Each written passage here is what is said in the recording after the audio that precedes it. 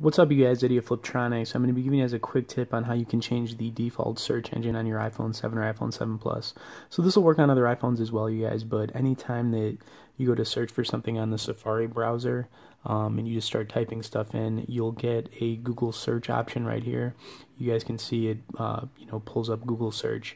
So, um, you know, some people don't you know prefer using Google as their search engine. So if you want to change the default, um, you can change it to Bing or um, you know DuckDuckGo is a new popular one. But I'll show you guys how to do this. So, anyways, just go into your settings, scroll down till you find Safari, and then you'll see the search engine right at the top says Google. So you have a few different ones in here. You've got Yahoo, Bing, and DuckDuckGo. Like I said, some people prefer to use a different search engine. So I'm just going to pull up Bing and show you guys now when I go to uh, you know type something in the browser here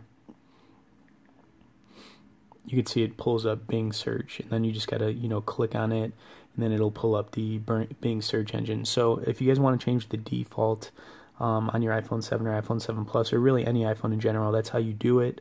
Uh, pretty simple stuff um, but anyways guys I would appreciate if you guys liked this video shared it. As always stay tuned for more and be sure to subscribe to our channel